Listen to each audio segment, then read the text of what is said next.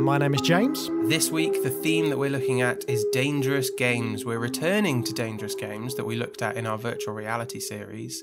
Uh, and this week, it's dangerous voluntary games. People are taking part in these games of their own free will with a little bit of uh, arm twisting, maybe. So, what films are we looking at to discuss these dangerous games, James? Well, we've got more ultra violence for you this week. We are looking at Rollerball from 1975 and also from 1975, we're looking at Death Race 2000. So, yeah, lots of violent, blood splattering action, sports galore. These kind of sports you do not want to play, or maybe you do want to play, depending on your uh, state of mind and body. And joining us this week to discuss those two films, we're very excited to be joined by Kevin Lyons, film reviewer, film historian extraordinaire, and proprietor of the Encyclopedia of Fantastic Film and Television, EOFFTV. Yes, very excited to chat to Kev on the show.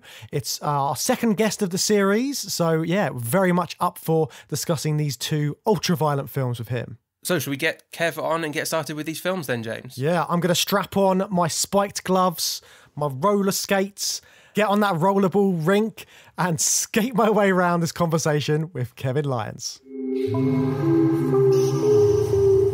So, we have the pleasure of being joined on the podcast today with the walking, talking encyclopedia of fantastic film and television. It's the one, the only Kevin Lyons. Kev, how you doing? I'm doing very well, thank you. How about yourselves? Not bad at all. Not bad at all. Good, good. Very excited to get into this chat. Yeah, I'm very pleased to be here. We're going to talk about a couple of my favourite films. So, you know, what's not to love? Yes, we're navigating uh, dystopian stories uh, this this series on, on Journey Through Sci Fi. Uh, why do you think dystopian stories in particular are, are so engaging? I think, I mean, you know, this is not a particularly original observation, but I think it allows us to rehearse for things. It allows us to sort of we all have, at the back of, my, of our minds, we all kind of think this is coming. This is what, you know, the, these futures that we read about and that we watch, we think they're coming. So this allows us to rehearse for them. I had these conversations with several of my friends who are, like me, of a certain age and grew up in the 1970s, watching things like Survivors and reading John Wyndham, and how kind of disappointed we were when the pandemic arrived because we'd already kind of rehearsed for it. And it wasn't the collapse of civilization that we were told it was going to be. It turned out to be something a little bit different. It turned out to be sitting on the sofa watching Netflix, which was not quite as exciting, thankfully, as something like Survivors. So I think what it does, I think it allows us to rehearse for um, rehearse for the unthinkable. Allows us to think the unthinkable. Um, we look at the future; it's very uncertain. No one knows where it's going. Particularly at the moment, there's been, a, I think, a bit of an upsurge in interest, particularly among younger readers, uh, in dystopian fiction. And I think, you know, when you look at the world around us at the moment, we're living in a kind of dystopian future as it is. So I think, you know, yeah, why, why would you not want to read fictional versions of it to help you understand a little bit better, perhaps, what's going on in the real world? That's a really interesting take on it. Does it also then allow the kind of worst people of society to also rehearse and the potential tyrants out there to, to get a leg up? Of course it does. Yeah, I mean all those uh, those people in. Um, I'm not picking on you, America, but you do seem to have a lot of them. Those people who go up to the hills with their guns and everything. I'm I'm sure they've read all these books and seen all these films, and you know, you and I and everybody else, we see them and read them as a kind of you know a cautionary tale. They see them as an instruction manual, which, you know, is inevitable. That's going to happen. Which is not to say that we shouldn't have dystopian fiction. Why not? It's, you know, it's, uh, yeah, I think it just helps us through our fears. You know, it really does. You look at it, you think, well, actually, the world today is not as bad as it is here. It could be worse. And then you look at it, you think, how would I cope in a world like that? What you know, would I survive a world like that? Yeah, that could be worse. Aspect kind of cuts the cuts through the horror sometimes. And you were talking, um, you, you mentioned uh, a minute ago about um, sort of like these two films being like obviously they're from the seventies. They're sort of like you remember them coming out. What's your sort of like relationship to to these two in particular, like Rollerball and Death Race two thousand? What do you remember about them? Well, I saw both of them on double bills. Funnily oh, enough. Wow. Um, Death Race 2000, I saw on um, a double bill with it was Enter the Dragon. Oh, amazing. One of my faves. That was a night out to remember, wasn't it? And I was only 15, but it's not obvious from, from here, and certainly won't be to your listeners, but I'm quite tall. And I've been quite tall since I was 14. And I think they just didn't want to argue with me. so I was able to get into X films fairly early on when I shouldn't have done. And this double bill was one of my, my early ones. And uh, Rollerball, I saw really strange double bill. There was a there was a thing in the seventies where films from earlier in the decade would then get repackaged as double bills, often in very, very unlikely pairings, really, really strange, you know, setups. And I saw Rollerball with Juggernaut, which is that film um, Richard Lester made about the blackmailer um, planting bombs on an ocean liner. Ah. I mean, they're quite mismatched. There's not a lot of action in Juggernaut. The only good thing about it is, and I, am denied about whether to tell this story. You have to remember I was 15. Me and my friends did come up with a whole sort of thing about roll your balls and juggle your nuts, which of course was, you know, is what you do when you're 14. So that was, I suspect somebody somewhere in, in Wardour Street actually put these films together thinking, you know, there's an awful lot of idiot bloody kids out there who are going to make this joke. Let's do it because it will, you know, free publicity. But yes, that was, um, I mean, to this day, I had to think just now when I said juggernaut. I had to actually have a split second thought and not say, you know, what I said when I was back at the time. But, but there you are. So yes, I saw them both on double bills, and they they eventually they did the rounds together as a double bill sometime later. And certainly back then, I was at the cinema two or three times a week. So it's very likely. I don't remember it specifically, but I, I suspect I went to see both of them again on that double bill, which again would have been quite the night yeah. out. I think. I think like um because sci-fi and sort of like horror as well, all those kind of like genre films, they lend themselves to this sort of uh, double billing. And I think oh yes, yeah, and these two films in particular, like you were saying, they are very connected. They came out the same year. They're both about the same sort of thing. Um, they're both dystopian. I think yeah, I think it's it's it's no surprise that they came out like that. Yeah. And Death Race 2000 does owe its existence a little to the success of Rollerball. You know, they they may have made it without Rollerball, but it's unlikely. I think you know the, the fact that Rollerball existed was what made Roger Corman think we'll have some of that. We'll we'll invent our own death sport and we'll we'll go for it. yeah, that would make sense. A very old school uh, mockbuster. It, it is. It almost is like the, the sort of modern day mockbusters, although of course it's a far better version. I mean, I think when um, when they did the remake of uh, Death Race 2000, I've got a feeling that um, the Asylum did actually do their own mockbuster, but for the life of me, I can't think what it is, and I'm not going to waste brain cells trying to rattle that one out of my memory because I mean it, it's bound to been bloody awful, isn't it? So, uh, but you know, at least Death Race 2000 was a proper film. They were actually trying to do something clever and different and original with it, and they succeeded in that. Absolutely no problem. And of course, Rollerball was remade as well, wasn't it, in the 2000s? I was hoping we were going to mention that. we'll, get, yeah, we'll get um, it over with now, Kev, so we don't have to get mention it out of the way, shall we? Yeah, well, it's one of those remakes. Well, I'm not a great fan of remakes, but, you know, sometimes you just look at them and you think, really? What were you thinking? They take virtually all of the science fiction out of it. It's set vaguely in the very near future. And Rollerball isn't rollerball anymore. It's something else, and I'm not quite sure what it is. To be fair, I only watched it the once and vowed never to see it again. It is sitting on the shelf somewhere behind me amongst all my DVDs, and I'm, I'm probably never going to watch it. I didn't even watch it for this, which shows my commitment, really, doesn't it? So, uh... well, I don't blame you at all, Kev. So, so let's talk about rollerball then. What is it about this film, and sort of like what what is rollerball? First off, what's what's the premise?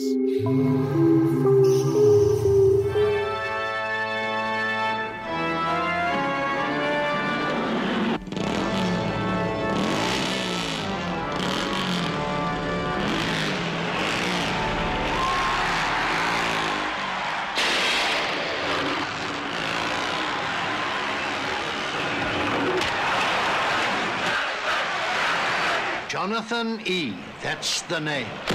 Houston players come and go, but the champion plays on.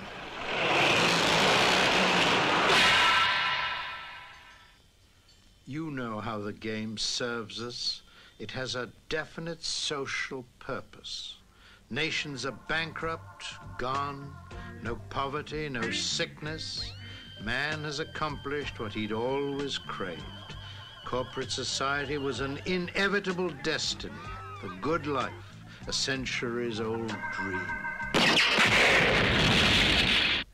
Better do as you're told, Jonathan. That's all I have to say. Rollerball is a futuristic sport which is something like a sort of an unholy cross between ice hockey, basketball, speedway, and a bit of martial arts. And that doesn't even come close to explaining what rollerball actually is. It's this incredibly violent game which I mean, the rules, there were actually proper rules that were laid out in a press book that came out at the time. Incredibly complicated rules. Go and look them up. They're online. You can now find them. Go look for rollerball, um, roller, rollerball game, whatever, and it'll give you all the all the rules that you need to know. But basically, it's a circular track, and it's two teams, and these teams represent cities that are now run by huge corporations. So our hero of the piece, and the fact that he is the hero of the piece is vital to the story, is Jonathan E., played by James Caan. He plays for Houston, who are run by Energy, which is this big global energy corporation. And the idea is that a metal ball gets fired around this circular track. According to the press book, it comes out at up to 135 miles an hour which makes one particular shot where the ball collides with an unconscious man absolutely unbearable once you figure that out. It then flies around the track. There's a single goal, it's a magnetic hole in the wall. And you've got seven skaters and three motorcyclists, and they just hair around the track knocking seven sorts of whatever out of each other for possession of the ball, and it's whoever gets the ball. And there's, no subtlety to rollerball. Even before, as the film goes along, we'll talk about this in a moment. They change the rules to make it more violent. But even the first game that we see, we see three games in the film, and even the first game is pretty eye watering in its violence. In normal sports, sort of physical contact is not really condoned too much. It's the whole point of rollerball you know you have to hurt the opposition to get them out of the way because they're not going to they're not going to sort of stop there and be nice to you you have to run them over and do all sorts of horrible things to each other so it's a very very violent game where physical contact is actively encouraged I did notice that through through that first game, yeah, it is very violent, but it kind of uh, it gets more violent as that scene goes on, isn't it? It's kind of introduced, and it's a pretty cool. It, it doesn't even look that futuristic. It looks like a you know fairly fairly cool trendy sport that's just been invented but it's like as we get through the montage with that scene then the blood starts to spill more and more and it just gets more and more vicious and what's so clever about it is that first scene sets up the rules quite economically. Yeah. There's no sort of no you don't have someone stopping there like a television reporter explaining the rules to, you know, a worldwide audience who already know how the game works. It's just the, the, the information is leaked to us, but it's time through the first game, which as you say, becomes more and more violence as it goes along. And then we have two more games, each one being more violent than the last. So it sort of builds up this huge crescendo of violence, which is really part of what the film is about this idea of using violence as an entertainment and a way of placating people.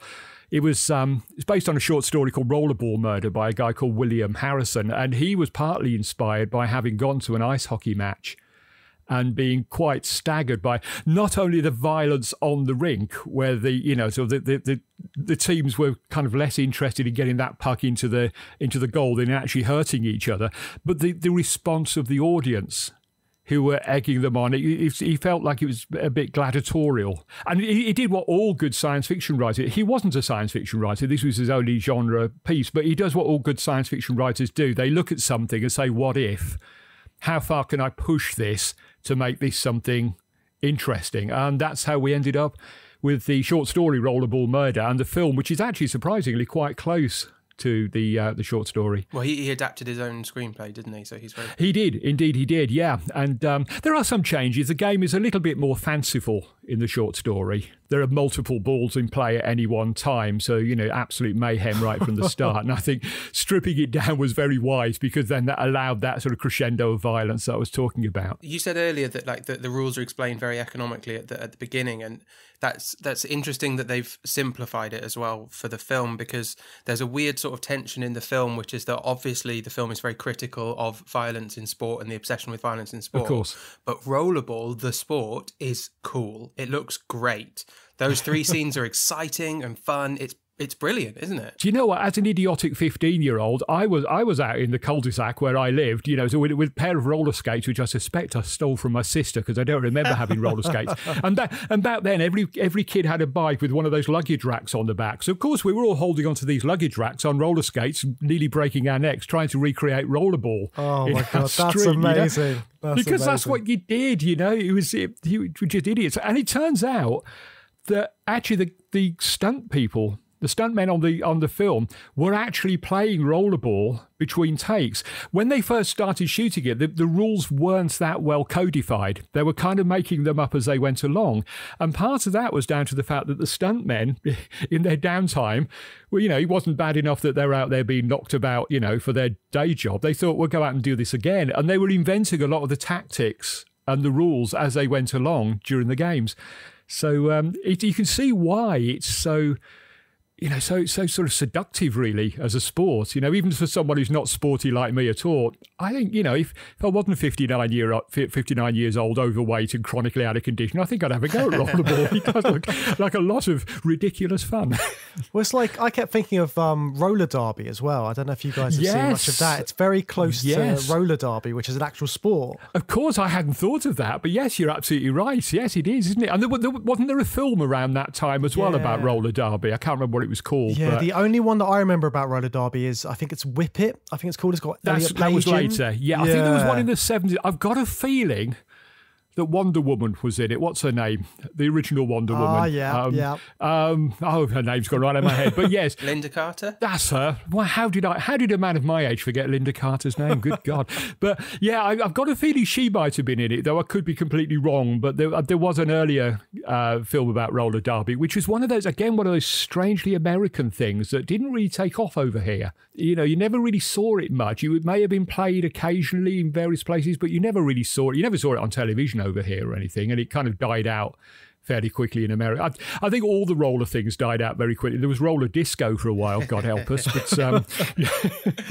I've never heard of roller derby. It is all very. It it does all feel very American, and that's sort of the point of the film, isn't it?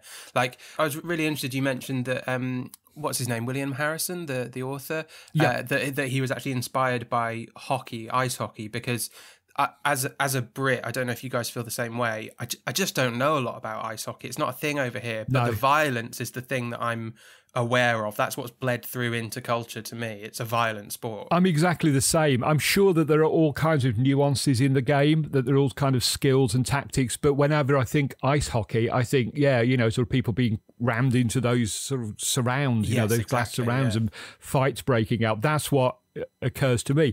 I'm sure the good people of Canada, where it is hugely popular, will be sitting there yeah. now throwing things at their at their screens. you know, you you idiot Brit, you know nothing about this. But that's the public image that has sort of transferred over here.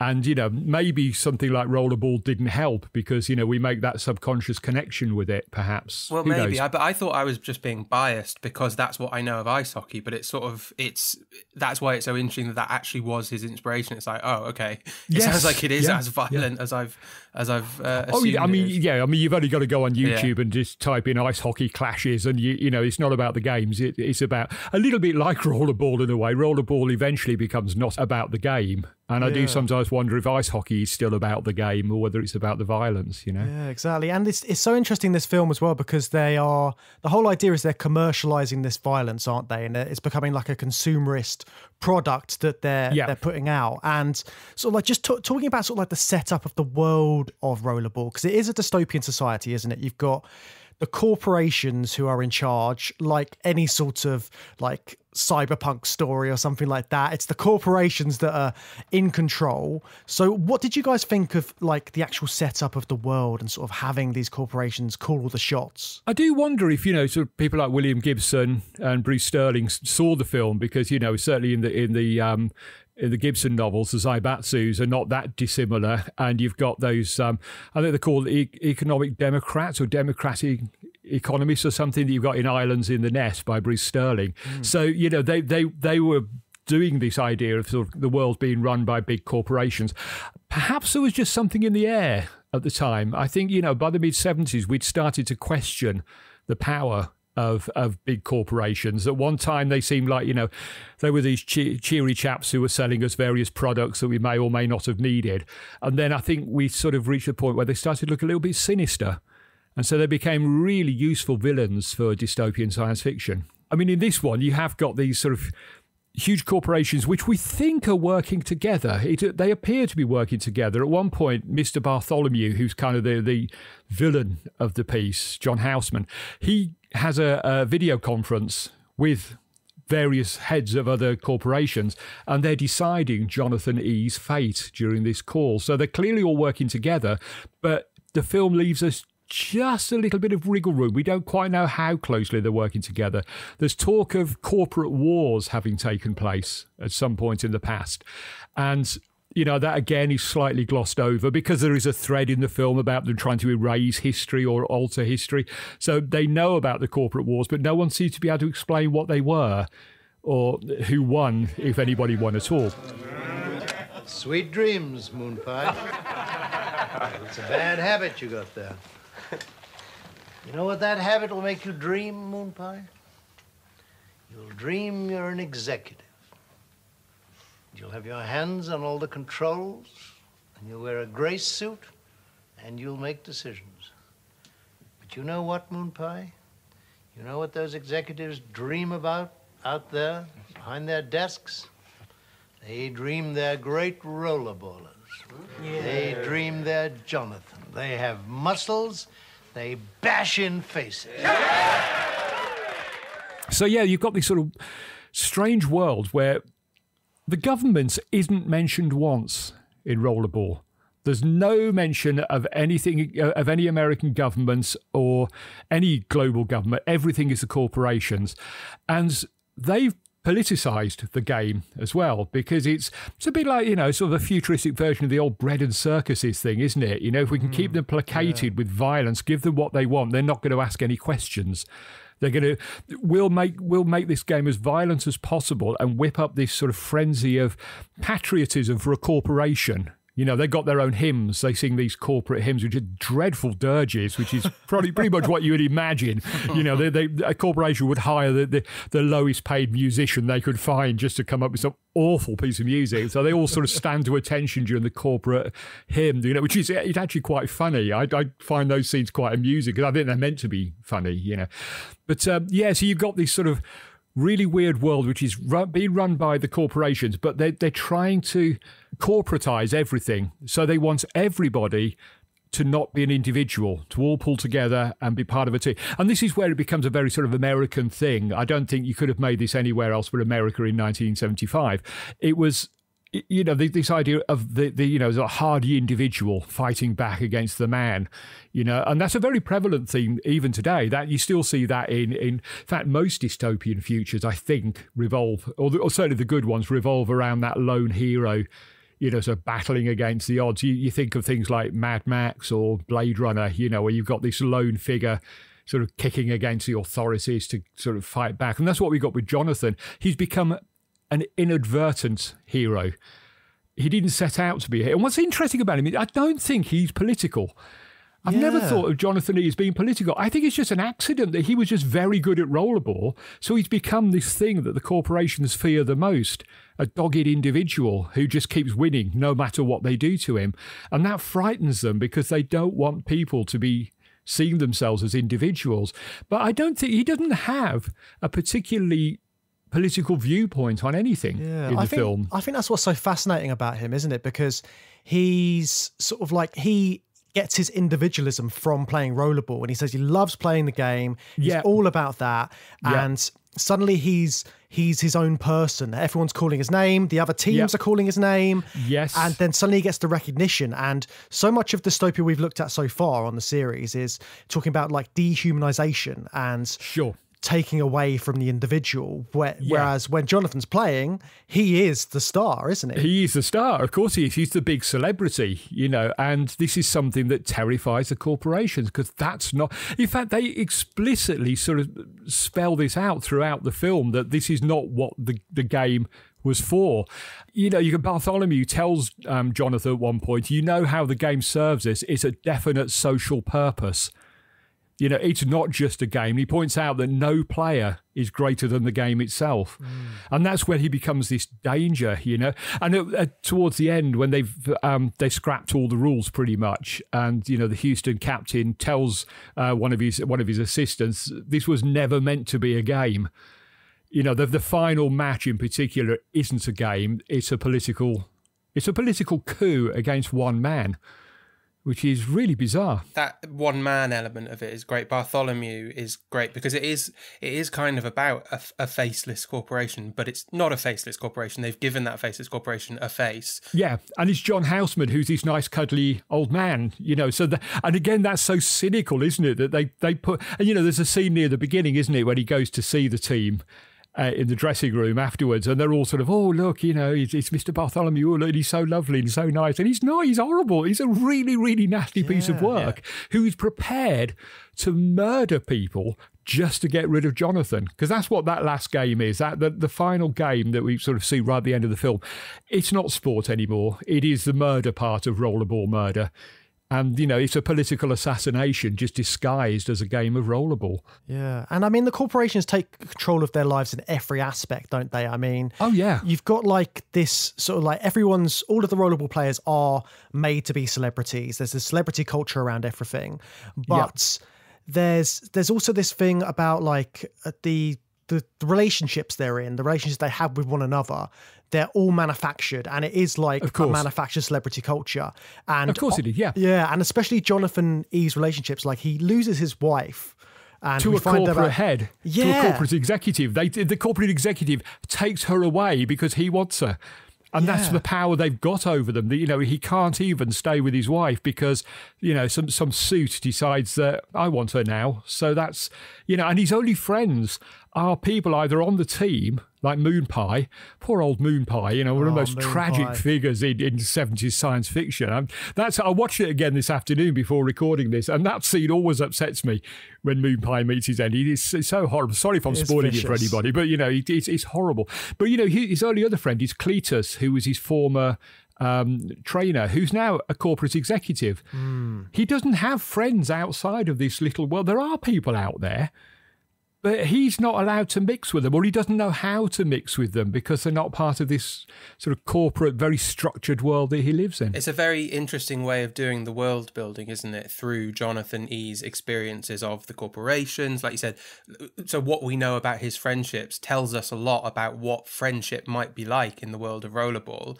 But we just get this drip feeding of, of world building through Jonathan E's experiences. And I, I loved it because it was one of those things that left me really wanting more. Want to know more about the corporate wars, but you can't know because it's been erased from history. So, they can't tell that story. And he's quite clever, I think, because too often you can get an awful lot of backstory, which then falls apart. When you start thinking about the backstories, it kind of falls apart. They very cleverly left just enough wriggle room in the film for us to think about what, how did we get here? What's going? And there's little bits in it. That's, I love this one scene, and I know you know, everybody goes on that the rollerball scenes are the best in it, and the, the bits off the rollerball track are a bit boring. Nonsense. They're great. There's a wonderful sequence in there where he goes to a party. Jonathan goes to a party. Yes, I and love that he's having- sequence. it's fantastic, isn't it? While he's having this argument with Bartholomew, the rest of the guests, who are all sort of smacked out of their heads on these sort of corporate sanctioned drugs, the, the, the ennui that has settled onto their society means that the only thing they can think to do is go outside and shoot some trees. Mm. That's mm. all they can think to do because they've had everything else taken away from them. And even in a drugged up state, that's that's all they can come up with. And that says so much more about the world than if someone had given some big, you know, five minute lecture in the middle of it, you know? It's so subtle and so the, clever. the combinations of of like shock and distress and also excitement and enjoyment on their faces when they're doing that as shooting those trees. yeah. uh, And it's so petty. Yeah. It's so Yeah. petty. When you've got a guy in the house behind you who puts his life on the line every time he plays, and this is the most excitement that they can come up with. Like you say, they're like little children at Christmas, aren't they? Their faces light up because we've blown up a tree. Yeah. What are you doing? What's the point? What's gone wrong with your lives? You know, and it's such a subtle thing, but it tells you so much about the world in which, you know, we're temporarily living for a couple of hours. Yeah. Yeah, because it told it told it tells a lot about sort of like the technology they have as well. Because you don't see too Yeah. much of that technology, but they talk about how there's no wars, there's no sort of like poverty Yeah. because of the Yeah. corporations, but they have this technology that could decimate cities from the looks of it. Oh, easily, yeah. I mean, they could that that, that small band of you know sort of coked up party goers could start the Third World War, but I don't think they've got what it takes to do that. Thankfully, I just don't think they'd have the imagination to do anything like that. And that's you know that that suits the corporations because they've while they're politicizing the game rollerball, they've depoliticized the world of rollerball.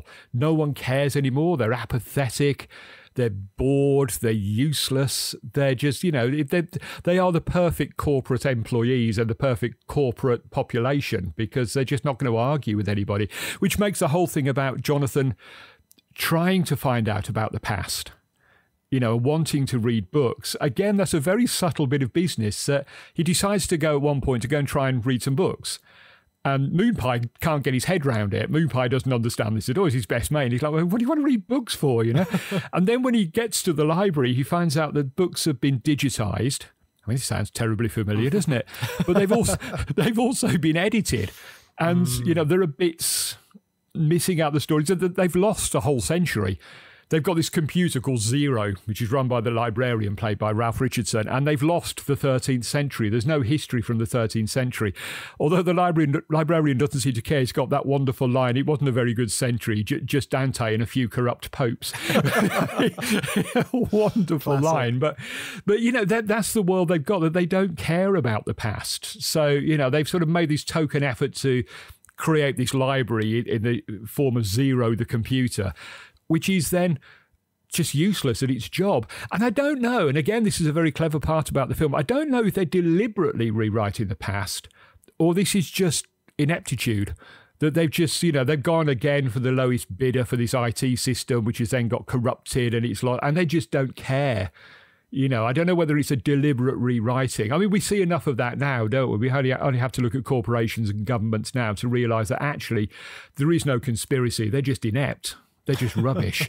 you know, they, they, they wouldn't have the brains to come up with a conspiracy. And I think, you know, that's possibly what we're seeing in this world. It sort of seems on the surface to be running smoothly, but you get these little clues that actually it's not really. They're just not very good at it he's sort of it's being held together on the wing of a prayer really. I think there's a combination of those two sort of possibilities isn't there? Because yeah. like certainly jonathan cannot get any information on the corporate wars. That's been that's been erased. They don't want that knowledge out there.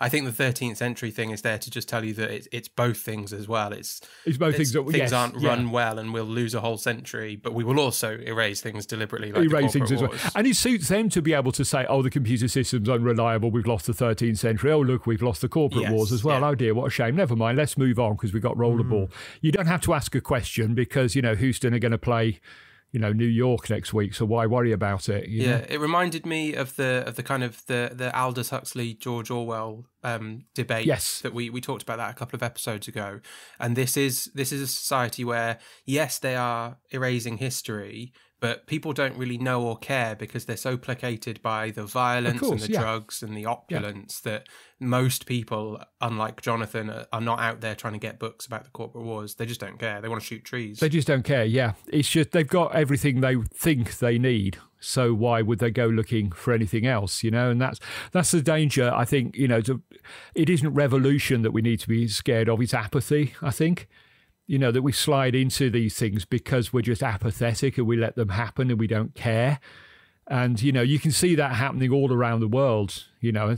Okay, I'm a grumpy old man now, so I tend to see these things everywhere. But, you know, you, you do sort of see this sort of a- apathy in the world. Do you think, come on, we've got to do something. Otherwise, we are going to be living in a world of rollerball, you know. But then we get a cool game to watch. then we get a cool game to watch. So who's complaining? Yeah, and you know, maybe I can be the oldest, fattest rollerball player in the world. Yeah, try try knocking me off my feet when I'm this weight. Yeah, we, that's we a good idea. We could all have a new career ahead of us in the rollerball world. Oh god, I don't think I would last ten seconds on. Yeah, I was going to say I think it's going to be very short, to be honest. yeah, good point. Good point. I, I, probably would go watch it. To be fair, I'm not sure that reflects well on me, but I think I would go watch rollerball. It'd be the sick curiosity of it, wouldn't it? You'd of like you'd want to know. Yeah. Oh, you'd yeah. want to know. It's like it is the car crash thing, isn't it? You'd want to go along just to see what someone being killed in rollerball would look like. Yeah, and also it's it's kind of like the whole society is kind of emotionless in that way as well yes. because they're watching these games, but they're so disconnected from what's actually happening. They just cheer, and like it's the same with the players as well. None of the players are showing much sort of compassion for one another or anything. It's just like, again, it's the dehumanization. They're all just taken away from their emotions. There's one very brief scene, and again, it's an absolutely wonderful piece just before the third and final game. At this point, the rules have been thrown out: no substitutions, uh, no time limit, and just just no no limits on anything. To be honest, you just keep going. It's it's it's to the death in the third third one. And there's a very wonderful little scene of the Houston players just sitting in the dressing room before they go out, and they're not talking to each other. Mm, they're yeah. not looking at each other because they know that they're not coming back. You know, this is the end for them, and they've realised that they've, you know, they they probably realised far too late that they really are pawns in this awful game that they didn't even understand they were playing. You know, there was another game going on beyond rollerball that they knew no- nothing about. It feels like gladiators in the pits before before being oh, definitely, out, yeah. yeah. Absolutely, yeah. I mean, like I said earlier, you know, it's, it is that sort of bread and circuses thing. It is distract the masses with the blood sports so that they don't ask too many questions. It's um, we've seen it before, and I just hope we never see it again. You know.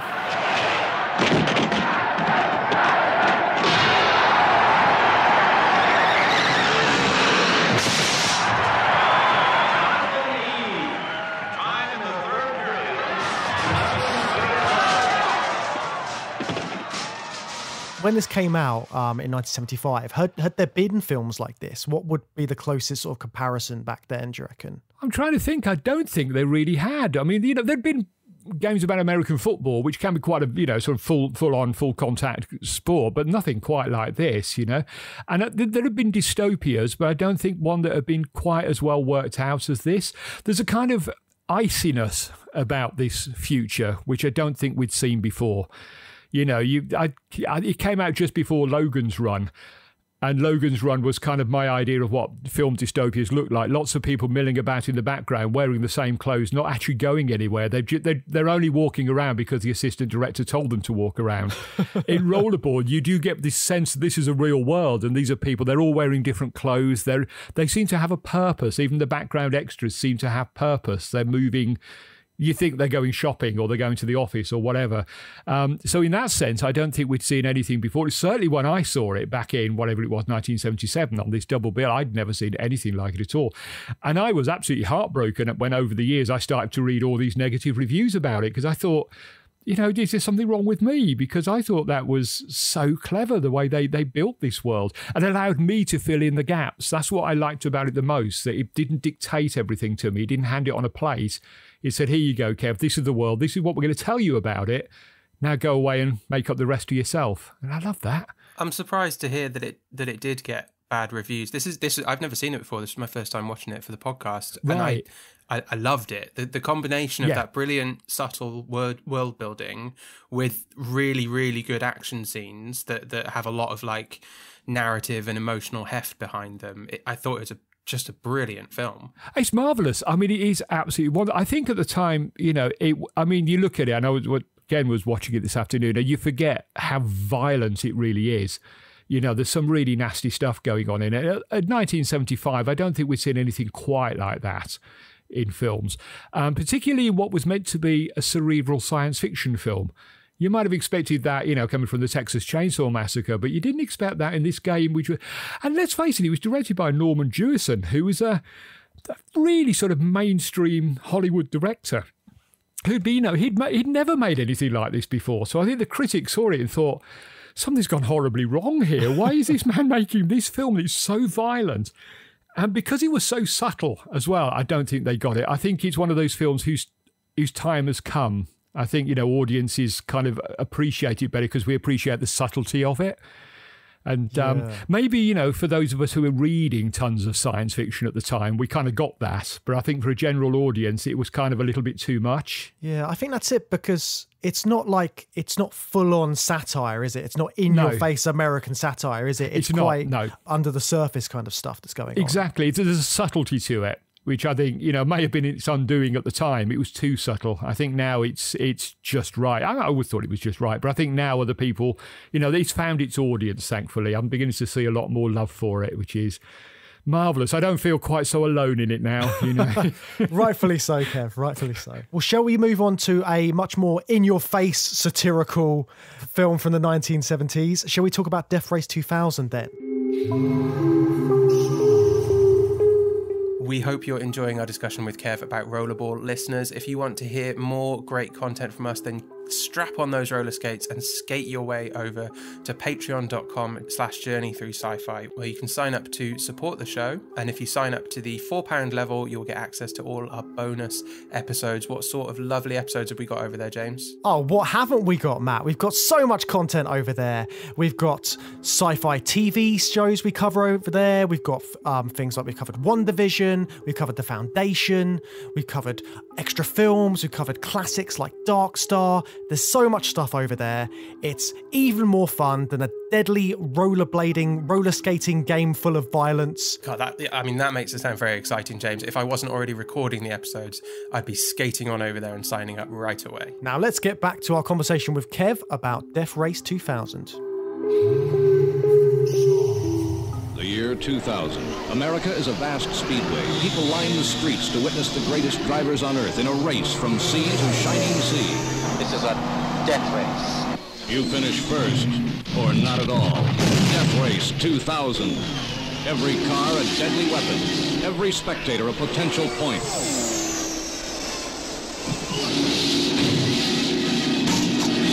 It's a cross-country road wreck, and the traffic is murder.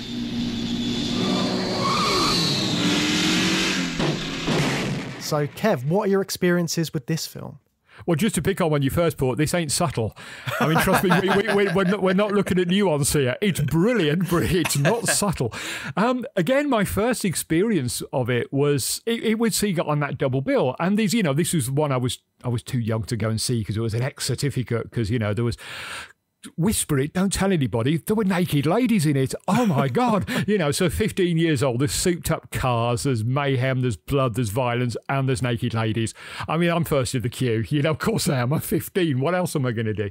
So, yeah, so I saw it on this double bill with um, Enter the Dragon. I mean, seriously, I mean, is it any, any wonder I became a film fan? How could you not see that on a Saturday night I mean, and not what think, a combo. This is what I want to do with the rest of my life? I want to watch this stuff. You know, this is I mean, great. I've got a special relationship to this film because uh, my stepdad, when he was driving around, before I'd even seen the film, he would always go like, "Oh, that's X amount of points," or "That's this amount of points." Do you know what my dad did the same? My parents Yeah. did that as well. Yeah, I, and I I've never seen this film before, so I didn't get the reference. My parents did that the whole My, time. my dad did. My dad hadn't seen the film. He hadn't seen. He, he saw it many years later on video, but he was still doing. it. We'd be sitting at a, a, a, a zebra crossing. You know, and an old lady would go across, oh, 10 points. You know, and he had no idea where Yeah. it came from. It was just in the air at the time. Everybody was saying it. It was just this sort of sick joke. I don't like. There's no way my mum's seen this film. I know my mum well enough to know she hasn't seen Death Race 2000. It was but yeah, just part was of the saying- world at the time, you know. It was just everybody, everybody knew what it meant, you know. But uh, for those that don't, maybe we ought, we ought to explain what we're Yeah, gibbering about because there's going to be some people think, well, they on about ten points, but um, the the, the the the the idea of the film is it's completely nuts. All right, I mean, this is one of those films where you go into it, and yes, you'll see some satire, and you'll have uh, the best, you know, eighty odd minutes of your life, but don't think about it. If you think about it, it falls apart immediately. The, the idea is that in the year 2000, as the title would suggest, we've got the latest in the transcontinental road race, which is where a group of uh, racing drivers race from. I think they're going from east to west. Yes, because they end up in New Los Angeles, don't they? They go so they're going from east to west, but the winner is not necessarily the person who gets there first, or even alive in this case, but it's the person who scores the most points. So you score points by running over innocent civilians.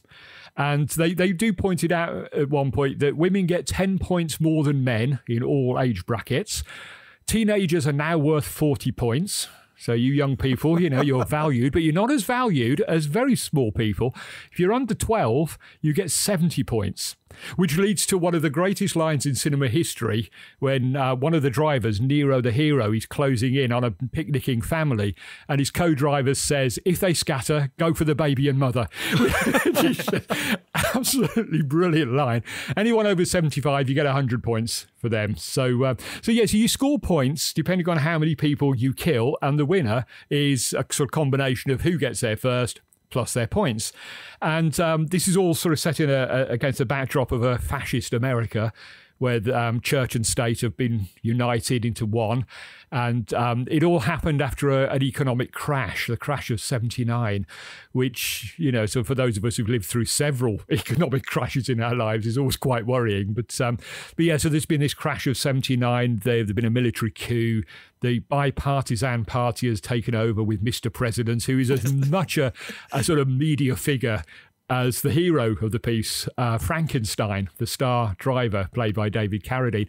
And it's very similar in that respect to Rollerball because it is about this one individual who has sort of become this media figure and become a great. Um, he's got his own fan club. Yeah. Who who offer up sacrifices to club. him. You know, there's a there's a marvelous scene, and it's not it's you know it's just one of those scenes where it's not silly or funny. It's actually really touching where he meets one of his fan club members who's been chosen to just stand in the road and be run over by him. It sounds ridiculous, but it's so well done. You know, it, it- where she's sort of saying to him, "It's not about love. It's not about sex. It's just this is what we, you know. This is what we do. You know, we, we're we're your fans. We love you. It's not about a physical thing. We just love you. We want to make you happy so you can run us over and score. You know, however many points. It's kind of tragic, but really quite moving as well. It's quite a, yeah, it's like a weird fanaticism, isn't it? Because like there's it's almost like religious for this fan group because It is, yeah. They've all got their uniforms, haven't they, with their, the Fs on them, you know, and the way they line up along the side of the road to watch this poor girl get mown down. Which, of course, Frankenstein obliges, and when his um, when his co-driver objects, he just said it's what she would have wanted. You know, so, so he's he's an anti-hero rather than a hero. But yes, they've got this almost. You know, when, when when they start lining up, there's almost like um, organ music playing on the soundtrack because he's become this cult that they sort of worship Frankenstein and are so fanatical they'll die for him, which is really mad. I wanted to meet you, Mr. Frankenstein. I wanted you to know who I am, so it would have meaning. I don't understand. So what would have meaning? We love you, Mr. Frankenstein. I know just saying it doesn't mean much. Why do you love me? Because I kill people? Scoring isn't killing, Mr. Frankenstein. It's part of the race. You're a national hero, and we want you to know we're with you, a 100%. I mean the whole film is mad, isn't it? Oh, I Oh, mean God, it's- it's I think it's it's just like the cartoonishness to it as well because obviously the first thing I was thinking about was like wacky races and like you've got the very stylized cars everyone's like a certain character you've got like the German car you've got um what other ones have we got in there there's Well, like you got you've got Frankenstein, who's David Carradine. You know, Yeah, he's the guy fantastic. that survived so many crashes and been rebuilt. Supposedly, in fact, what they're doing is every time Frankenstein dies, they wheel out another one. So he's just the latest Frankenstein. He's got a few scars to prove it, but that's about all. You've got you've got the marvelous machine gun Joe Viterbo, played by uh, Sylvester Stallone, very uh, early in his career, and he is magnificent. He's just kind of this old style Italian gangster who's absolutely insane throughout. They're all completely nuts, all of them. But I, I, I love Machine Gun Joe. He's just so deranged. He's got a brilliant line where he calls some um calls his, someone a baked potato doesn't he That's right. Yeah, you're a baked potato. yeah. But you, then you got um, you got Calamity Jane Kelly, Mary Woronov, who's you know this sort of cowgirl type figure. You've got the one you mentioned earlier, Matilda the Hun, Roberta Collins, and her cry of blitzkrieg every time she runs someone over. She, uh, you know, it's one of those films where you think if they, it, I mean, they have remade it sadly, but if they remade it now, they probably wouldn't have you know sort of Nazis in it driving around in in, buzz bombs. You know, it, it's kind of it is one of those you kind of watch it, watch it, you think, really? you know, you're thinking, "Wait a yeah minute." Yeah, that that joke isn't not funny, funny anymore. is it? No, it doesn't. It doesn't travel well. You've also got Nero the hero, who's a bit boring. He's Martin Kove. He's the first one to get wiped out, and he's uh, described as a has been. You know, he's. Um, but yeah, you've got these cartoonish characters, and Wacky Races is a perfect analogy for it. I mean, I must admit that when I first saw it, I did think this is Wacky Races with blood, isn't it? I mean, this is exactly Yeah. what it is. And in um, in, in nightmare movies, Kim Newman very very aptly described it. It's the closest real movies have come to Chuck Jones's Roadrunner cartoons. oh, and you course, even yeah you even get a Roadrunner gag with the you know when they try and lure one of the they I think it's Matilda isn't it they try to lure off the road and they put a fake a fake tunnel which is just a cardboard flat with a sort of black bit on it and Oh, it's like that's the touch. fake tunnel that she goes through and goes over a cliff you know so it, it, they even nick the jokes from Roadrunner which is marvelous Yeah. And again, this guy, this kind of thing's been done again, and again. Like I, I was thinking of Rat Race as well. Like, um, Yes. yeah, Yep. because that's the same sort of thing. But there's something about having all of these, like these stylized cars and these different characters that makes it really entertaining. And it's and it's clearly entertainment. They've everyone's Oh, yes. like a different character. What's so entertaining about it is he's directed, written and directed by Paul Bartel, who you know is a great director anyway. But what's what I always uh, I admire so much is that he knows it's absurd. He patently knows it's absurd, and yet he treats it completely seriously. This is not. I've seen people describe Death Race 2000 as camp. It's not camp. It is not camp at all. He plays it deadly seriously. The humour comes out of the fact that this deadly seriousness he's just so absurd. There's just so much sort of craziness going on in this world. But he doesn't joke about it. It's taken terribly seriously. And he has points to make. He has um, satirical points to make, pretty much the same points as, as Rollerball, in fact. Yeah, but it's like over the. It's like it's in your face. It's over the top satire, and Yeah. it, it made me think. Like both of these films made me think of RoboCop and sort of Verhoeven's sort of style as well. Yes. It's the same sort of thing. Like you're talking about the corporations and the consumerism, and you're also sort of like you're doing. You've got in the face adverts. This has the um, announcers, which That's say the right, most ridiculous things, and you've got adverts for stuff. All of that, I think, really like aids it in the message it's getting across that Of course. this kind of society could happen. So yeah, and, watch you out. know, of course, he's taken a swipe at the media as well. It's one of the Hmm. many things that the film is taking aim at. So you have got these vacuous television hosts. You know, you got the woman who's everybody's her my close personal friend.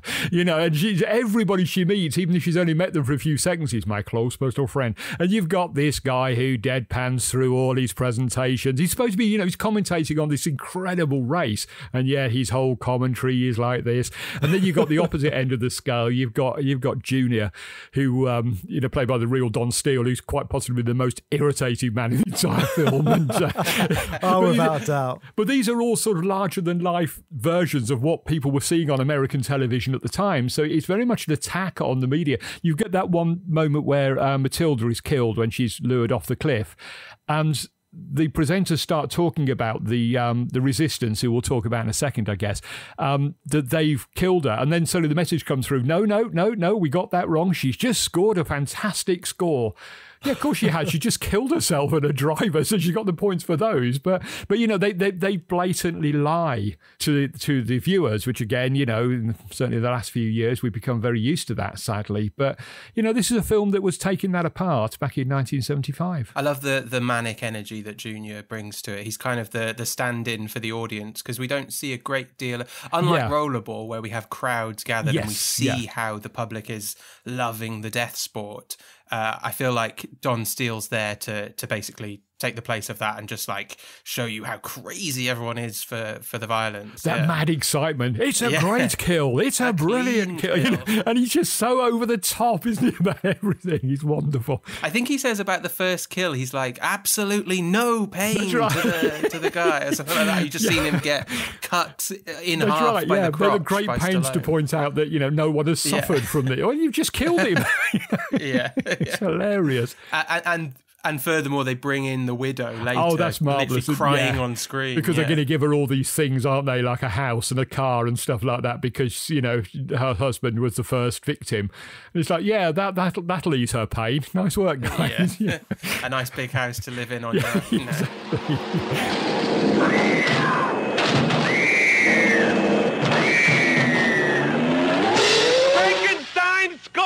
scores! Frankenstein scores at last! So, so they've got all of this stuff going on, and sort of like the entertainment stuff, and then how they're sort of manipulating them with the media.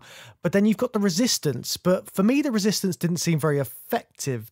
They they, They're they seem a bit useless. incompetent, don't they? Yeah. They're useless. They, I mean, again, I think it's a bit of um, a, a, a bit of a satire. I think he's taking aim at the 60s counterculture, which, of course, back then was still around. You know, those guys were still about. You know, I'm an old hippie, they're my people, I'm not going to attack them. But they didn't really do very much in the end. They were, they were full of talk and full of brave ideas and stuff, but nothing really got changed. And when you look at the resistance, apart from Harriet Medin, who plays Thomasina Paine, who's the, the aged leader, who I, I suspect is named after Thomas Paine, whose pamphlets had, you know, inspired the War of Independence in the first place.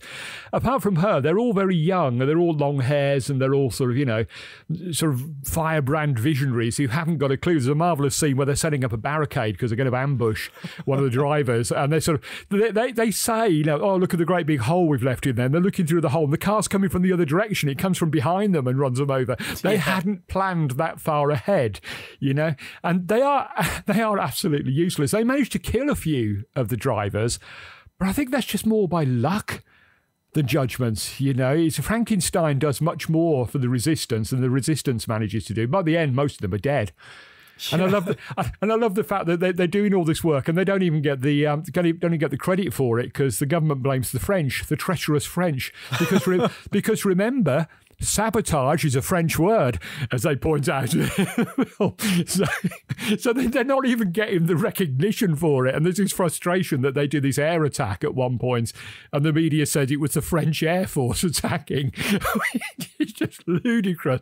So, you know, they're completely useless and they're not even getting the media coverage that I'm hoping for. They're, they're really funny, the resistance in this. I love them. Yeah, they don't have a good and time. again, it's, it's it's Roadrunner stuff. It is Roadrunner they stuff. Are, they yeah. are Wiley Coyote all over. Their successes and their failures. Exactly. Successes by the, accident yeah. and failures by incompetence. That's pure Wiley Coyote. But again, you know, there's that little air of um, that little undercurrent of satire in there. You know that we had great dreams in the late '60s that never came true because people got sidetracked. You know, he could have we could have changed the world in the 1960s. No one did because you know there were other things and other drugs to take, so it didn't happen. So, uh, so yeah, so I think you know Paul Bartel far too smart not to have done that. I think you know in 1974, I think it was shot, 75 release. They were still that was still very current, and that was still smarting for people of Bartel's generation. I think you know who were very politically committed that they didn't succeed in anything. So yeah, of course he, of course he turned it into satire. So he's in, he's envisaging a real, a real nightmare monster in the president, then Mister President. Absolutely, yeah. Successfully taken. He's over. the worst of every worst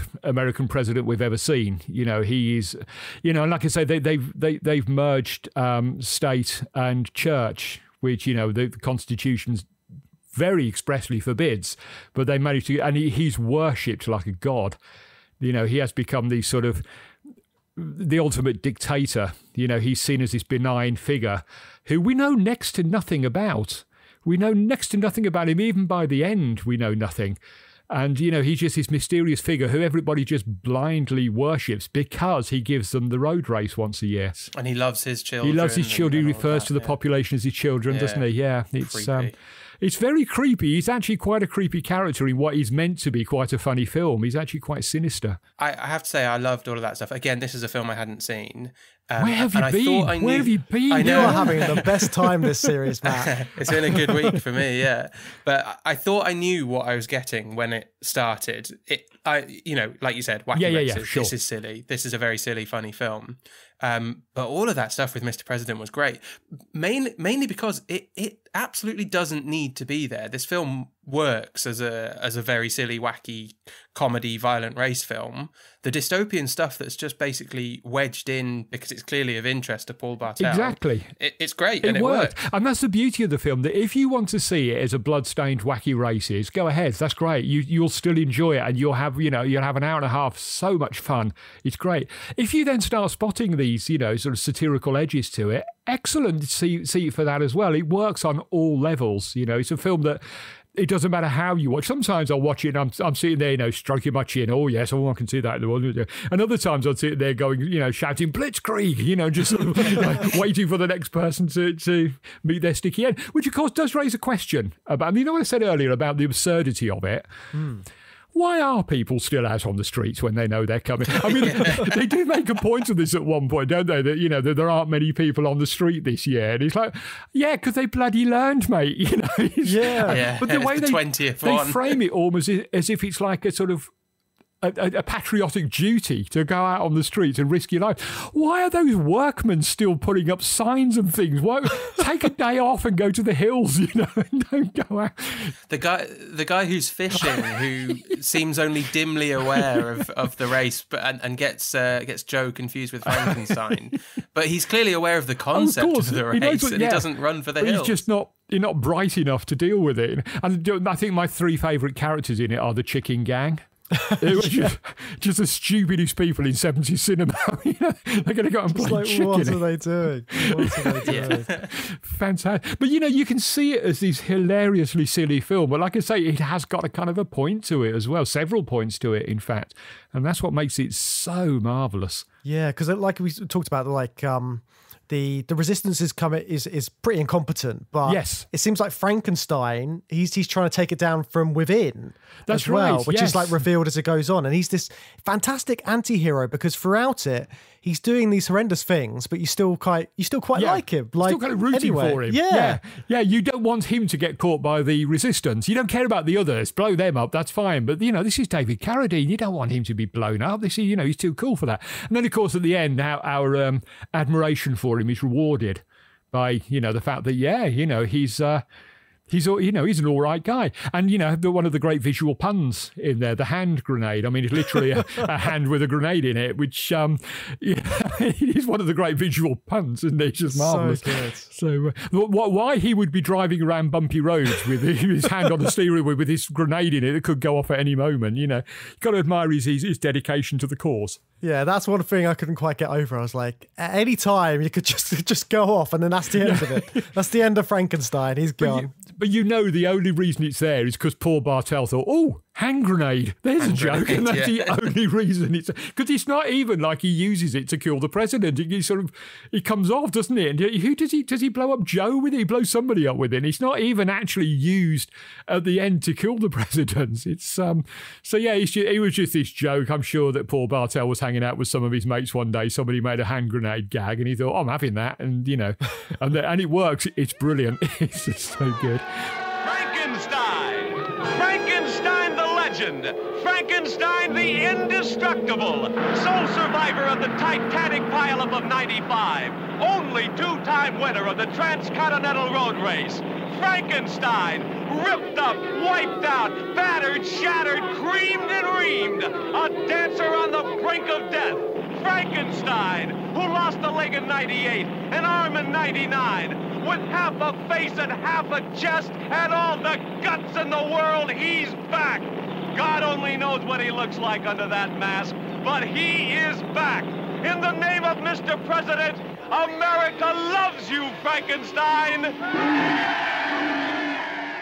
I mean, we also talked about like uh, if we if rollerball was a real sport, would we Mm-hmm. give it a go? I mean, if Death Race 2000 was a sport, how do you reckon, how many points do you reckon you'd rack up? I, I mean, I can't drive, so I, I wouldn't get off the starting line. To, Oh, no. to I be mean, honest, you, you might score loads of points then if you just. Just I, I would I would be a little, little bit like Joe backing up and running over his own pit crew, but he does it deliberately. I'd just be in the wrong gear and just run people over. You know. You could uh, you could be a navigator. I'd be a you can't drive. navigator. Yeah, I think I'd be quite good as a navigator. But I think, you know, the navigators, if we notice, they are the opposite sex. So I'd have to be with Matilda or Calamity Jane, which, you know, would that be such a bad thing? Probably not. I think I would have survived that. But, you know, so, yeah, that way, run him over, run her over. That would be great. So, oh, it'd be really good, wouldn't it, for that list you've got? We've all got it. Don't deny that you haven't got it. We've all got a list in our heads of all the people that we'd like to bring bad things to. That's the day that you would go out with that. Trust me, as you get older, that list gets extraordinarily long. but uh, you would be the one day where you go out and make that list come true. You know, it'd be marvellous. But no, I don't think I'd be very good at the death race because. Um, yeah, I'm just. I'd be to be honest. I'll be too busy looking at the scenery. You know, whenever I'm in a car, I'm being driven about. I'm I'm far too busy looking out the window because there's far more interesting things to do out there than you know there are in here. So I'd be- I'd be hopeless. But you wouldn't go out. You wouldn't go out fishing, right? Oh, good God! I mean, I, I'd be in more lockdown than I'm in now. To be honest, I never leave the house while the death race was on. But um, yeah, no, it, it's um, it, it has credibility problems with the plot, but like I say, don't worry about that because it really doesn't matter. It doesn't matter one little bit. I, I always get hung up on, you know, so, oh, the plot doesn't make sense. Oh, no, no, but not with Death Race 2000. Who cares? Yeah, there, there are idiots roaming the streets on Death Race Day. Yeah, why wouldn't you? You know, of course you would. So, and it was interesting that they, they kind of remade this sort of. There's a film called Carquake, which had also got David Carradine in it, but it's not science fiction. It's not set in the future. It's just a car chase across America, a bit like the Gumball Rally Oh, and a bit like films like that. And you say nice, but when you watch it, you think, Okay. oh, you know, yeah, David Carradine's in it. There's lots of cool car chases, but it's just a film about cars driving across America. And it was what they bought into this, you know, the whole point scoring system, the the ludicrous cars. The cars are magnificently stupid. It, all of that sort of weirdness, the surrealism and the, the wackiness is what made the film what it is. When you see Carquake, you think, yeah, this is a kind of normalized Death Race 2000, you realise just how much Paul Bartel brought to it. Yeah, because there was a um there was a series on sci-fi, I think not that long ago, called Blood Drive. Oh, and right. That, that was doing like a similar kind of Death Race 2000 thing, but all of the cars were powered by like blood. So they had to like kill people and they had to refill their tanks with blood. Well, there were remakes, of course. There was uh, Jason Statham was in the first one, wasn't he? And then there were two sequels to that, and then there was um, Death Race 2050, which was the official remake, which was sanctioned by Roger Corman. But I mean, I don't have to tell you that they're rubbish, but you know they, they, they are. it's just this one has. It, this is one of those films like Rollerball. It was the right film at the right time and it's just everything about it looks right and feels right. I think even if you'd made it five years later in 1980, it wouldn't have been quite the same film. There's just something about there was something in the air in the mid 70s that led to these films and gave them the look and the atmosphere and the sort of the weird off kilter feel that these two films have. Exactly. And I love the sort of like the dystopian society they've created around it and just like how how similar the concepts are at like uh, that they are in Rollerball as well. It's just like it just totally works, doesn't it? Oh, cool. And it works again because in Death Race 2000, they don't tell us too much. We don't have enough to pick apart. You know, you can pick apart things. I mean, even my beloved Blade Runner, I, I adore Blade Runner, second greatest film ever made, all the rest of it. But Oh, what's I the first? 2001. Oh, Always and forever, 2001. Your top two are the best, Kev. They're the best films ever made. Trust me, trust me. I will fight anyone who who argues on this one. But um, you know, I watch Blade Runner. I think, yeah, it's it's a, it's a masterpiece. It's magnificent, and they built all those massive skyscrapers on a, on an earthquake fault line. Really? I mean, you know, the rest of it is so brilliantly worked out. It's little things like that that I think, oh, that doesn't make a lot of sense, does it? but, you know, in this film, they don't give us enough of that background for us to pick it apart. They give us just enough to make it feel like it's real, but without too many details that we can then sit and obsess over and say, oh no, that wouldn't have worked. Oh, that wouldn't have worked. You know, it's just enough to keep us engaged. And that's the beauty of it. It's so streamlined. That nowadays we get everything handed to us on a plate. We get epic backstories before we even get to the action. I think of, you know, the, the, the, the Rob Zombie remake of Halloween, which spent half the film telling us all about, you know, Michael as a child. I don't care. I want to see Michael getting out there stabbing people. Get on with it. And we get too much of that. And this is not what they did in the 70s. They didn't worry about that stuff. I mean, you know, rollerball starts with a rollerball game.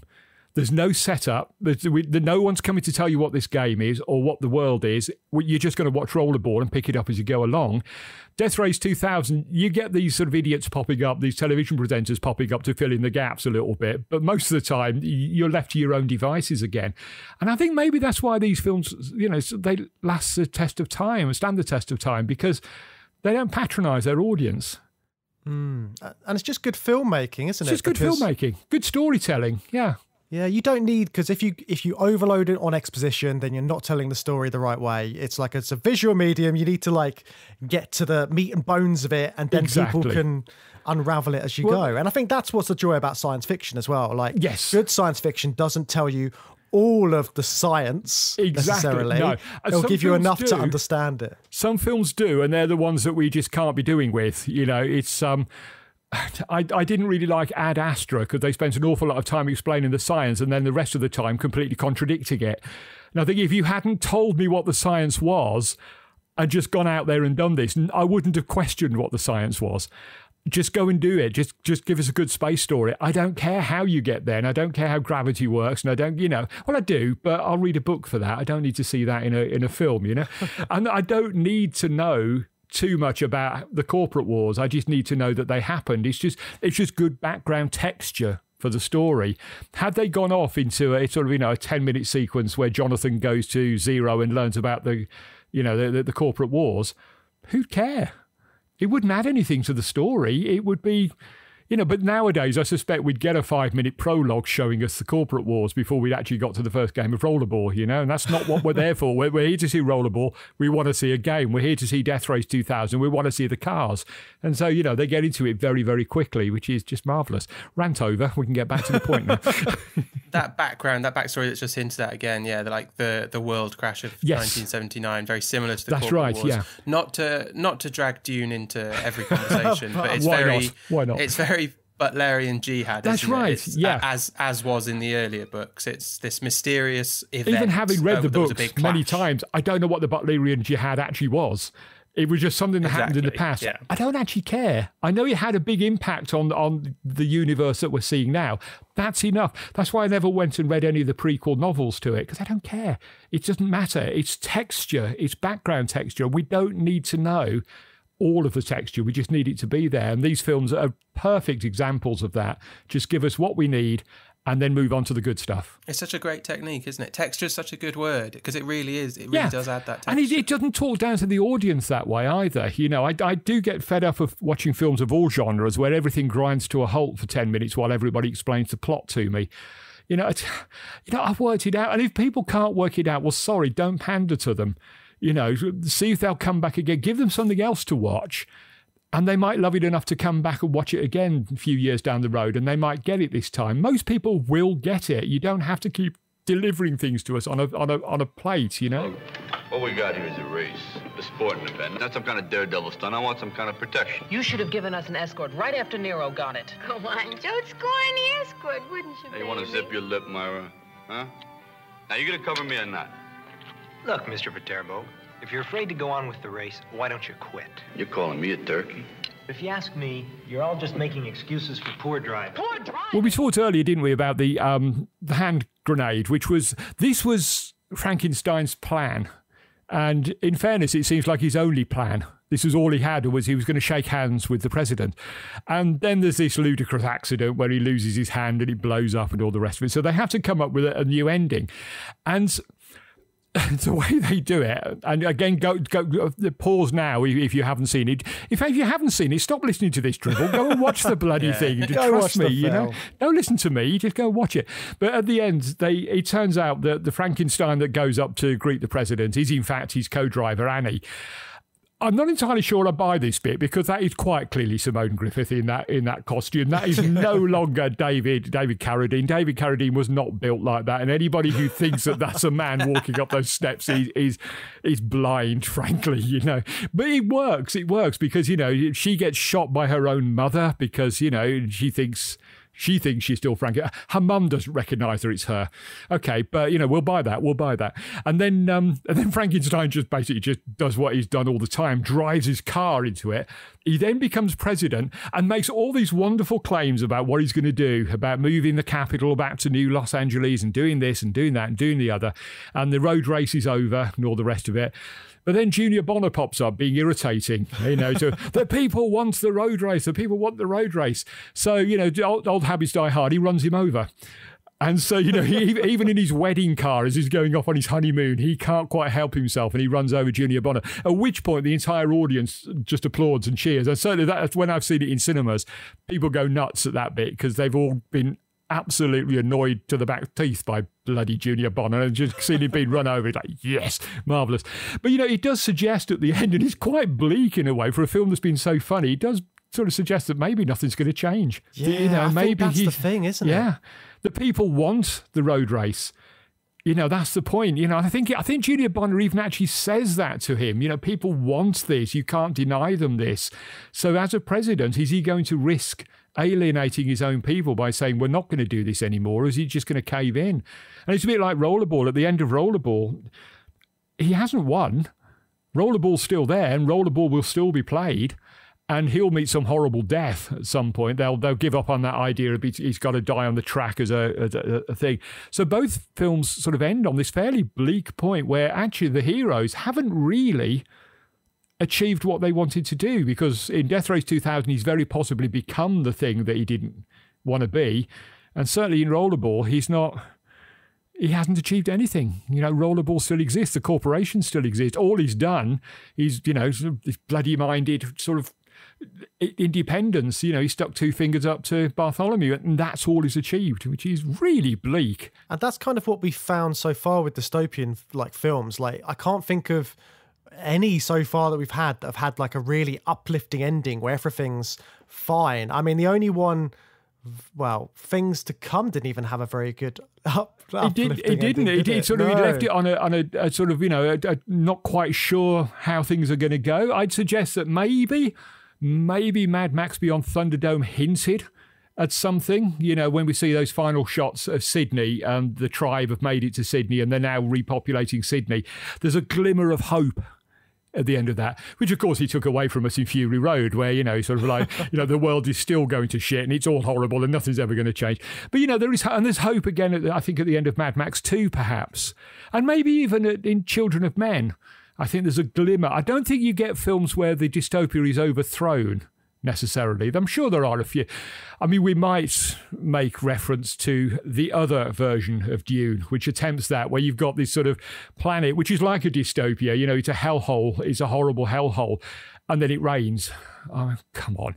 You know, please, honestly, Denis Villeneuve, if you're listening, you're not, but if you are, please, please don't don't screw up the ending of part two like that. Please, please, please. I don't That- think he's going to be going with the rain. And that scarred me back in 1984, and I've, I've still not recovered from that. But you know that that tries to offer a glimpse of, of change, but they never work. I don't think. You know, if you've got a dystopia, something massive has got to happen to overthrow it, and that's a whole other film. But I mean that that massive thing, I guess, does happen at the end of Death Race. I think it's interesting that both these films end suddenly. Um, it's it's a more kind of I think it's a bit more uh, how to put it like uh, delicately thought out in Rollerball's ending. Um, but there's there's something in the way Death Race 2000 ends at breakneck speed that last scene because and I think it's maybe something about the way that Frankenstein's coming in and making all these sweeping changes that as we were just discussing might not really have any impact I think there might be something in the way that's then it's just like a 3 minute scene at breakneck speed It feels a little bit tacked on, but it works. It feels like, it, oh, you know, we, we need something to finish the film. Let's do this. And, you know, as, as geniuses like Paul Bartel often do, they can pull something out of the hat on the spur of the moment. And you came up with this, this fantastic ending, which leaves you uh, ambiguous. You're not sure, you know, has it all be worth it? You know, certainly it's not as bleak as Rollerball. That, that final freeze frame in Rollerball is just one of those moments that sears onto your brain, you know, and you, you'll never shake it. Now you've seen the film, you'll never shake that final freeze frame of just Jonathan's defiance at the end. But, you know, that thought that it's all for nothing, possibly, you know, it's. Uh, on that cheery note, good night, children. Hope you, hope you, hope you sleep well. Don't have nightmares. But, uh, but that's what dystopias are meant to do. They're meant to give you nightmares. You know, they're meant to make you think, how would I cope in this? How would I? How would I have been Jonathan E. or would I have been Mr. Bartholomew? I suspect I'd have been Moon Pie, only not as good looking. I'd have been, you know, sort of the, the, the one that just sort of, you know, dicks about a bit and then gets killed. So, you know, I suspect that would have been me. But, you know, it's meant to frighten you. It's meant to make you go away and think, you know, wow, you know, is there any hope? They are despairing films, dystopias, but you know, it's like as well as being an old goth, I was an, an old hippie. I was an old goth, so I quite kind of like a bit of despair occasionally. so I'm, I'm quite happy with that, you know. Yeah, I think you need it. You need to. It needs you. You need to sort of wake up to some of these things every once in a while, and it might not be pretty. It might be like quite ugly and horrendous to look at, like in Rollerball in the in the final scene. But Yep. you need a bit of that. You need a bit of sort of like shock. Oh, definitely. value. Yeah, you, you can't have, you know, you can't all be fun. You can't all be, you know, it can't all be Star Wars. You know, got, there's got to be there's got to be some bleakness in there as well. And that's th- th- these are the per- and you know, I think they're kind of interesting films in that sense. Actually, thinking about it, that they certainly um, Rollerball was probably the last really good serious film before Star Wars. Ah, interesting. There was Logan's Run, but I don't rate Logan's Run at all, to be honest. But I'm not a fan of it. But well, we're um, doing that later in the series, Kev. So you yeah, might good want luck. to skip that one. Good luck. I won't. I won't be listening to that one. no, I will. Of course, I'll be there. I'll be listening to it and, th- and shouting at the speakers. Bloody idiots! You know what you're talking about. But um, so I didn't really count that one as much. But Rollerball might be the last big serious Hollywood film. I mean, Death Race 2000 is a great film, but it's not you know a serious film. So I wonder, was it the big last big studio serious science fiction film before Star Wars came along and changed everything for better or for worse? You know, it's up to you to decide. But you know, was it the last one? Perhaps I think it probably was. Can't think of much else that came out afterwards. That's really interesting, and yeah, well, I'm sure we'll see as we sort of like go on um, the journey. What sort of like what the dystopian films were sort of like post 1975 and sort of- Yes, yeah, Yeah, and How did they how they change? because you know, it. Star Wars brought in this kind of optimism, you know, and and you know that I'm trying to think when the next big dystopia would have been. Probably, probably would have been Blade Runner. You know, I think it possibly would. I can't think of anything big between. yeah, because that was the big mainstream one, wasn't it? That's right. Yeah. I think there were sort of you know smaller ones. There was uh, there was Death Sport, which was supposed to be notionally a sequel to Death Race 2000, but actually hadn't got anything to do with it at all. It's just David Carradine and and Roger Corman. They just said it was a sequel, but it got nothing to do with it whatsoever. But they got things like that. But there were little films. There were smaller, low budget films. But I can't think of a big mainstream Hollywood film that came out between Rollerball and Blade Runner. I'm sure there are loads of people screaming at me now, sort of, you idiot, you've forgotten this. But you know, yeah, and it does feel like Star Wars sort of swept that away a little bit because it, it went more for optimism and you know it was more. I use the word pantomime, which um, yes, I can hear them building the Wicker Man. As soon as I said pantomime in, in reference to Star Wars, they're going to they're going to burn me in a Wicker Man later. But it has got that kind of that kind of feel to it. It's much more of a sort of upbeat, jolly. Although you know, it's got the highest death toll of any film ever made when you think about it. You know, an, an entire planet is planet, destroyed at yeah, one point. You know, more people die in the course of Star Wars than in any other film ever made. But it's got this sort of optimism and this sort of uplifting quality to it, which doesn't sit well with dystopias. So maybe they had to wait for Star Wars to sort of settle a bit before they could come back to it. And it's got less of the sort of uh, the traditional sort of sci-fi what if message to it. oh yeah, yeah, yeah. There's no like warning of things to come. It's it's just it's there for the It's- entertainment, isn't It's it? It's Lord of the Rings. It's Lord of the Rings in space. It's a fantasy. I, I, it's one of those things on my website I call it science fiction because I've got into so much trouble calling it fantasy. But it is actually a fantasy film. Just because it's got spaceships in it doesn't make it science fiction any more than having horses in it makes it a western. It's just you know, but it is a fantasy film. And you know, on that level, it works. It it- you know, it works as a you know, as a science fiction fan. I wasn't entirely keen on it because it was sweeping away films like Rollerball you know, th- those films that I really wanted to see weren't being made now. Everybody was just ripping off until Alien came along, and I was much happier then. So, And, and speaking of films which um like you really want to see and, and you have seen, are there any other sort of like dystopian films um you think we, should cover in the series or anything that like we might might have missed? Anything that sort of springs to mind? well, I would, I mean, if you don't do Children of Men, there's something horribly wrong with you. I mean, Children of Men is another masterpiece. That's, you know, that may, may or may not be my third favourite film, but it is certainly up there in my top 10. It's a magnificent film. And what a dystopia that is. You know, that's, that's, that's a dystopia that's the day after tomorrow. You know, Rollerball and Death Race 2000 are a little bit further in the future, but Children of Men, you can kind of see that happening any day now. So that really definitely needs needs covering. That's a remarkable film. I would hope you're doing the Mad Max films if you haven't done already, because they're, you know, yeah, I mean they, I mean they are, you know, sort of dystopia to the nth degree, aren't they? And they, they, they're sort of the, in a way, they they've got the same DNA as Death Race 2000. You know, they they would make a good a, a good oh, full day's viewing. Start with Death Race 2000, then do the Mad Max quadrilogy as it is now. Is it quadrilogy for four quartet?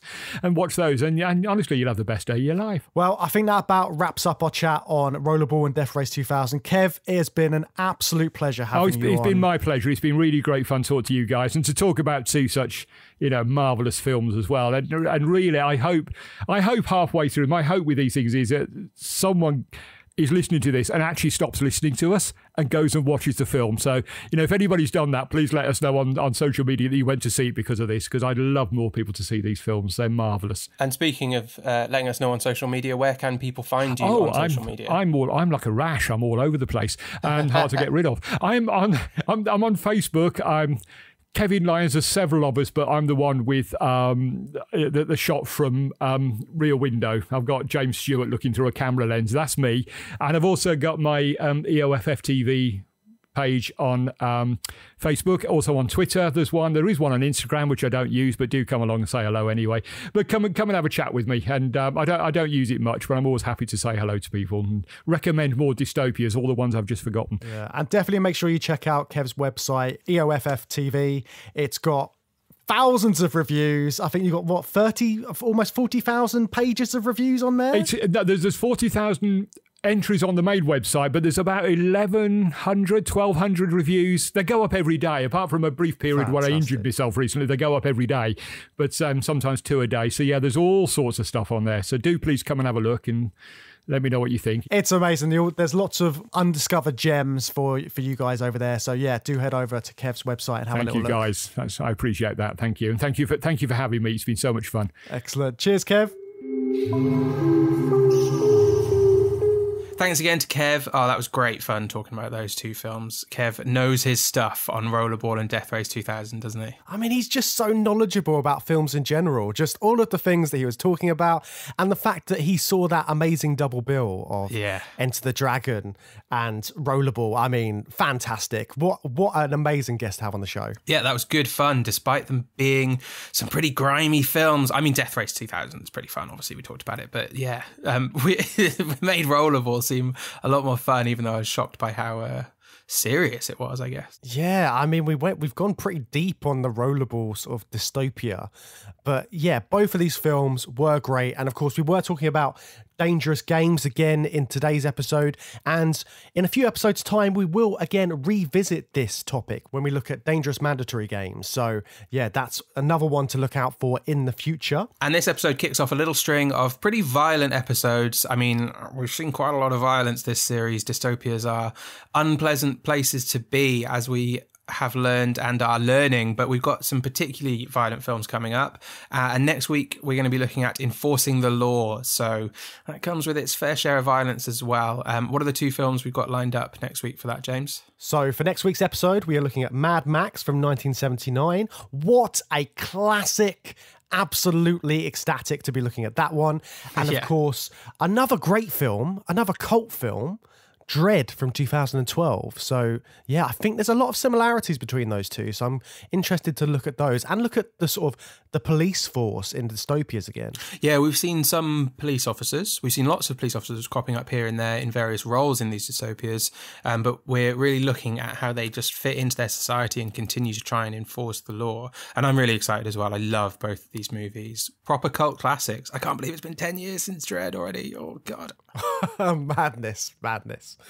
But if you want to get in contact with us before then, you can find us on social media. We are on Twitter, Facebook, Instagram. We're all over the place. If you type in Journey Through Sci Fi into whatever search engine you've got, Ask Jeeves or whatever it is, you'll be able to find us and then you can come and join in the conversation. Uh, if you want to support the show and you want to get some extra bonus content, come and join us on Patreon, patreon.com slash journey through sci-fi. We've got our apes films. We looked at The Matrix. Uh, we did Santa Claus Conquers the Martians back at Christmas time. You can go back to that one if you want. Yes, lots of great stuff on there. But of course, if you don't want to sign up to Patreon, you can always support the show by giving us a lovely review on whatever podcasting app you use. So if you give us a five star review, we would absolutely love it. We would love you forever if you give us one of those reviews. And of course, you could. It's always better for the uh, magical algorithms if you put in like a little comment. So when you do that, why don't you tell us? What which of these dangerous games would you want to have a go at? Would you want to do rollerball or would you want to give Death Race 2000 a go? Let us know. It's neither for me, but I'm I'm interested to know what, uh, what everyone says to that. Anyway, join us next time, folks. Goodbye.